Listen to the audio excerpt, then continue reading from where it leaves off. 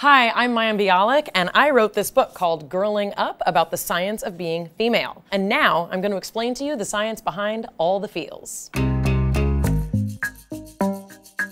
I think that a good understanding of the chemistry and the biology behind a lot of different emotions gives you more information about them so that when you're having them, you don't feel helpless or out of control.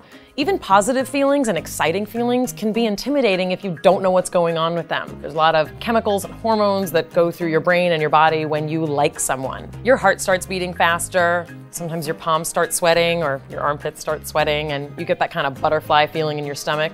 A lot of that is serotonin, which is a neurochemical that makes you feel good, and a lot of it is adrenaline. That's the thing that makes you feel like ready to go and ready to do something. People talk a lot about lust. The fact is, serotonin's involved in that too, and there's a really cool special hormone called oxytocin, and it makes you feel super duper good. When you spend time with someone, something gets activated that's like a reward circuit, and a lot of times the chemical released is dopamine, and that kind of feels like that drug feeling when you really want to be near someone. Some of the more complicated feelings that we also experience as teenagers and even as adults are things like stress and depression. Stress is accumulated pressure on your emotional system, and over time, stress can actually be hard on your body.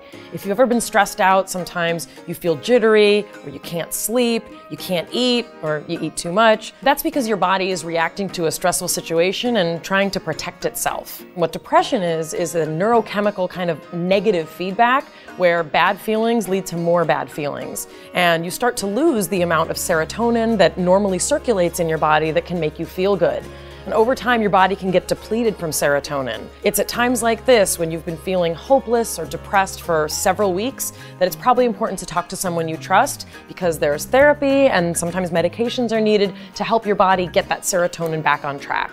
One of the most problematic chemical storms that you can have happen in your body is when a relationship ends. What happens is you've had a lot of serotonin and a lot of oxytocin and a lot of dopamine circulating through your body. And when something comes to an end, all of those chemicals have nowhere to go and nowhere to land. A lot of what helps those chemicals get back to normal is trying to find a sense of routine and trying to distract yourself. But it's also important to remember there are still places to find joy, there are still friends who can support you, and there's always another day to try and take on the world.